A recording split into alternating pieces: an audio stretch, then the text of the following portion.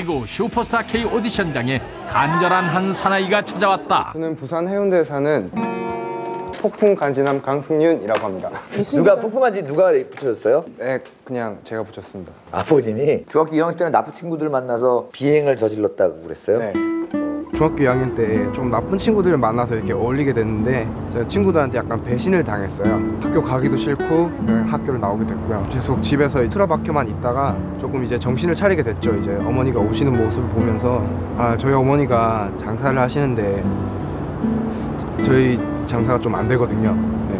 손님이 없으면 밤마다 이렇게 혼자서 술을 드세요. 오시고 계시는데 제가 다가가서 이렇게 유럴 해드리거나 이렇게 할 수 없는 그런 거 있잖아요. 제가 너무 죄송스럽고 그래서 네. 아, 네. 아, 그냥 어머니한테 보답하는 길은 내가 일단 정신을 차리고 빨리 학교를 들어가고 내가 갈 길을 찾아야겠다. 아 제가 아버지는 어렸을 때 어머니랑 이혼하셔가지고 아버지 안 본 지 한 9년 정도 됐고요. 어머니와 아버지 역할을 둘 다 해야 되는데 이렇게 잘 해드리지 못하니까 어, 노역들이 많네. 다른 친구들보다 그런 경험을 많이 했기 때문에 제 인생에 있어서 조금 더 많은 도움이 될 수 있을 것 같습니다. 실력 좀 한번 볼까요, 특히? Tonight the sky above will tell you I was there under the front porch light on a mystery night. I've been sitting watching life pass from the sidelines. Been waiting for the dream to slip it through my blinds.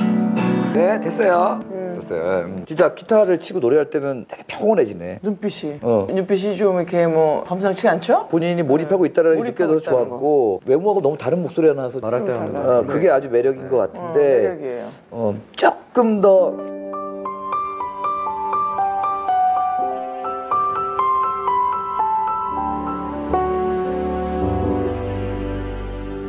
뭐 굳이 그 사실 단점은 아닌데 눈을 감으려면 눈이 살짝 반쯤 떠지는 거 알아? 아, 그래요? 본인이 약간 몰입이 되면 흰자만 보이는 상태가 좀 있어. 성각으로 떠난 여행 My 앞엔 If I left it 그거 잘못하면 약간 오해받아. 어, 오해받고 약간 어, 약간 하는 음악도 그렇고 약간 오해받을 소지가 있기 때문에. 근데 충분히 가능성이 보이는 뮤지션으로 갈 수 있는 길인 것 같고 맞아요.